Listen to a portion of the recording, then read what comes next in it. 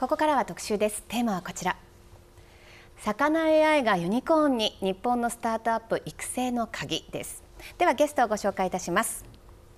スタートアップなどイノベーション政策にお詳しい野村総合研究所シニアコンサルタントの本田和弘さんです。どうぞよろしくお願いいたします。よろしくお願いいたします。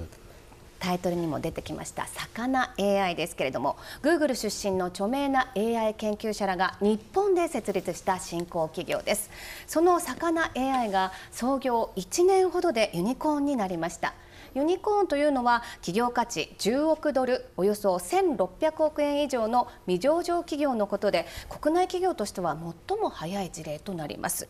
じゃあ本田さんこの魚 AI が創業1年ほどでユニコーンになった。その理由は何でしょうか？まずは世界的な生成 AI へのあの投資ブーム。こういったマクロのトレンドにうまく乗ることができたということはあるかと思います。ただそれだけではなくてですねあの創業間もない段階で政府の支援プロジェクトに採択をされて創業間もなくても信頼性のある企業であるということが改めて示されたということもございますし何といってもこの段階で海外からの大型の資金調達を実現できているというところ、まあ、国内だけだとどうしてもリスクマネーの供給というところが足りない中であの、まあ、なかなか海外にアクセスできずにユニコーンになれないという企業が多いですけれども、この魚 AI の場合ですとそういったまリソースや能力があったということが大きな要因かなと思っております。はいそんな特別な存在と言っていいんでしょうかね魚 AI どんな人が作ったのかと気になるところなんですが先週デジタル AI 分野の規制やルールの最新動向を伝える日経の新メディア日経デジタルガバナンスのネット配信番組に魚 AI の創業者3人が出演して COO 最高執行責任者の伊藤さんは日本のユニコーンについて次のように話しています。日本ではユニコーンが生まれるのかどうかという議論はたくさんありました我々一番大事だなこの自分たちの経験上も思っているのはやっぱり自分たちの友達の中にユニコーンがいるかどうかってことだと思うんです。でそういった実例を見るとですねじゃあ自分たちでもできるんじゃないかやってやろうという気になりますしなので法技術も大事比較文化論も大事国内の資金調達事情も大事ですけれどもやっぱりそういった実例を見たことがこう雪だるま式にですねあのいいリパーカッションを呼んでいくんだと思ってます。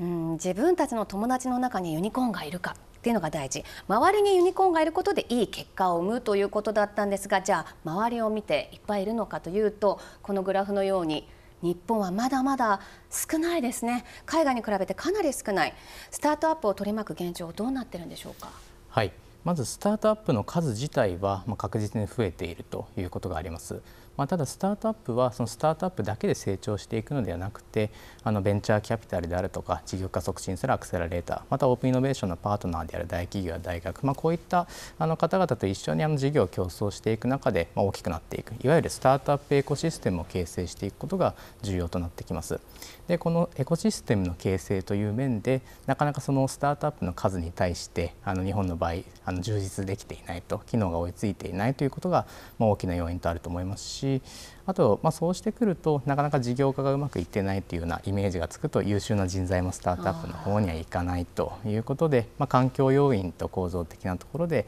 あのまだまだユニコーンのあの誕生が少ないということになっているかなと思います。あのまあ、スタートアップをいかに大きく育てていくかとさらに突っ込んで伺いたいと思いますけれども、まあ、政府はですね2年前に5か年計画というのを作ったと、まあ、この時の柱というのが資金供給人材オープンイノベーションということですね、まあ、先ほどリスクマネーの話もありましたのでここでは資金供給に今突っ込んでいきたいと思いますけれどもまずこの日本のスタートアップに対するお金の出し方資金供給今どうなってますか？スタートアップのまず資金調達額で見ると諸外国に比べると相当規模が小さくなっているということがございます。